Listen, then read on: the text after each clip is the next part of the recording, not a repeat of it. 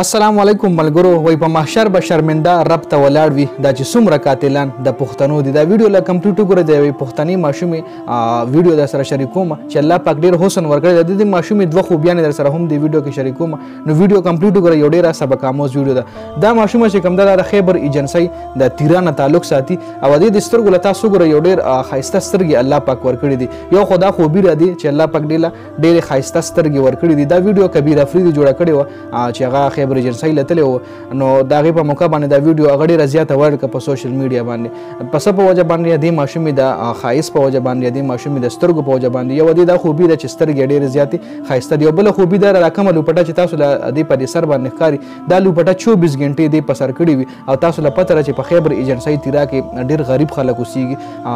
دغلته داسې سورسز هم نشته مطلب ګیس بجلی هم ډیر زیات کم ایلته نو دا خلک هم دې غرونو کې خشاک راټولولو لپاره ګرځي نو دغه ټایم کې کبیر افریدي دا ماشوم لیدلې وه دینې دا ویډیو جوړه کړې وه تاسو له پسکرین باندې ښکاري چې الله پاک دې له څومره ښایسته سترګې ورکړي دي یو خدا کمال دی او بل د دې د ښایست بل وجه چې کومه ده د دې د نقاب دی مطلب پښتانه چې څومره هم دی ګوره اسلام کې د ښځې چې کوم حسن دی په پرده کې دی کما خزه چې بې پرده ګرځي لکه تاسو ګورئ دا مچان دا ګندګیر زیله زی دا مچان شو دا څومره هم فلایز شو کنه نو دا په ګنده ځای باندې ډېر کینی نو دغه رنګ چې یو شی کولو پروت وي کنه کولو غوښه پرته نو په هغې باندې هر قسم نظرونه پروزي یو ښځه ده یو جینۍ ده هغه ستر نه کوي د هغې مخ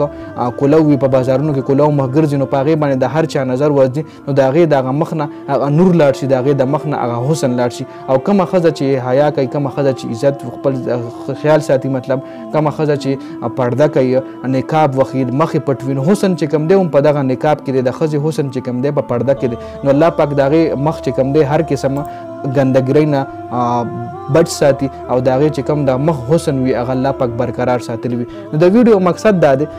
صرف او صرف دا پیغام دی ویډیو کې زه شریکوم چې ګوره پښتون څومره بد امنه یادېږي پښتون څومره خلک وایي چې جنګیالی قوم دی خو پښتون چې څومره حسن الله پاک ورکړی دی او پښتون چې څومره امن پسند خلک دي دا په دې ټوله دنیا کې به تاسو ته د پښتون غونتې امن پسند خلک میلو نشي خو افسوس چې دغه یورپین کنټري او چې کم غیر غاماس خلک دي کم د پښتنو دشمن خلک دي د پښتنو له ډېر غلط رنګ ورکړی دی د پښتون ایمیج ډېر زیات خراب کړی دی پښتون یو ډېر مطلب حیادار ډیر عزتدار او ډیر زیات د امن ډک خلک دي پښتانه ډیر خواږه خلک دي تاسو په دې سکرین کې صرف دا وړه ماشوم وګورئ چې الله پاک دې له څومره حسن ورکړی دی نو ویډیو کې پیغام دا دی چې پښتون یو ډیر امن پسند قوم دی پښتون یو ډیر حیادار قوم دی پښتون یو ډیر عزتدار قوم دی او پښتون چې کم حیا د په عزت دی هغه پښتون په خپل حیا او په عزت باندې خپل سر هم ورکړي نو ډیر امن پسند موږ ته ویډیو مخکې ملګرو سره شریک کړئ چې خلک وګوري د پښتنو د حسن